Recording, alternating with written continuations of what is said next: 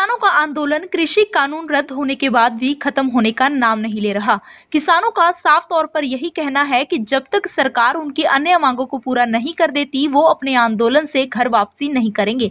बता दें कि किसानों द्वारा सरकार से एमएसपी पर गारंटी कानून के साथ साथ मृतक किसानों के परिवारों को मुआवजा देने और किसान आंदोलन के दौरान किसानों पर दर्ज हुए मुकदमों को वापस लेने की मांग की जा रही है।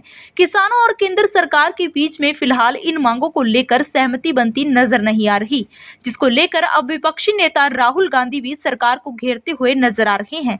बता दें कि राहुल गांधी ने सदन में मृतक किसानों की सूची को पेश करते हुए मुआवजे की मांग की है जिसको लेकर हरियाणा के गृह मंत्री अनिल विज की राहुल गांधी को बड़ी नसीहत के बाद अब अंबाला शहर से भाजपा विधायक असीम गोयल ने राहुल गांधी के साथ साथ पूरी कांग्रेस पर निशाना साधा है। बता दें कि विधायक असीम गोयल ने कहा है कि सन चौरासी के नरसंहार को ना तो किसान अभी भूले हैं और ना ही कोई देशवासी भूला है। उन्होंने कहा है कि पहले की सरकारों में बहुत से आंदोलन हुए और उस समय की सरकारों ने आंदोलन को किस तरह से दबाया था, ये सबको पता है। लेकिन यह ऐसा पहला आंदोलन है जिसमें ना कोई ज़ोर ज़बरदस्ती हुई है और ना ही कोई गोलीबारी के आदेश दिए गए हैं। राहुल गांधी तो किसानों के कंधे पर सवार होकर अपनी राजनीति करना चाहते हैं। देखिए, आदरणीय मुख्यमंत्री जी, अपने स्तर के ऊपर आदरणीय प्रधानमंत्री जी ने जो दिशा निर्देश दिए केंद्र सरकार द्वारा, और आदरणीय मुख्यमंत्री जी की तो एक दौर की बातचीत जो है किसान साथियों के साथ हो भी गई है।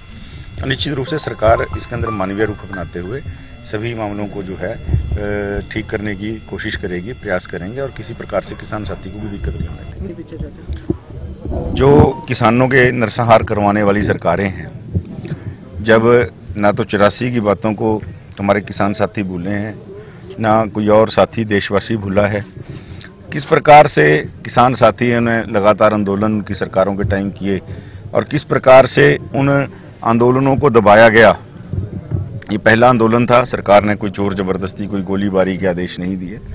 राहुल गांधी केवल किसान साथियों के मैं कहता हूँ कंधों के ऊपर सवार होकर अपनी राजनीति को आगे बढ़ाना चाहते हैं। उनका किसानी से कोई सरोकार नहीं है ना किसान साथियों से कोई सरोकार है। और सरकार और किसान साथियों के बीच में जो वार्ता है बड़े पॉजिटिव दौर में बड़े पॉजिटिव रुख के नाते जो है लगातार वार्ताएँ हो रही हैं। और आगे भी ऐसी चलती रहेंगी। किसान साथियों को किसी भी नाते अ, किसी मैं कहूँगा कि परेशानी नहीं होने दी जाएगी और किसी को भी किसान साथियों की भावनाओं का राजनीतिकरण करने का कोई अधिकार नहीं है।